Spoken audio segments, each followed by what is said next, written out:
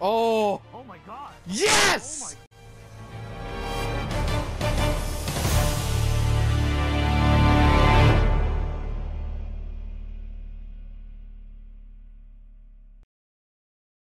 hey guys, I hope you enjoyed this quick little video.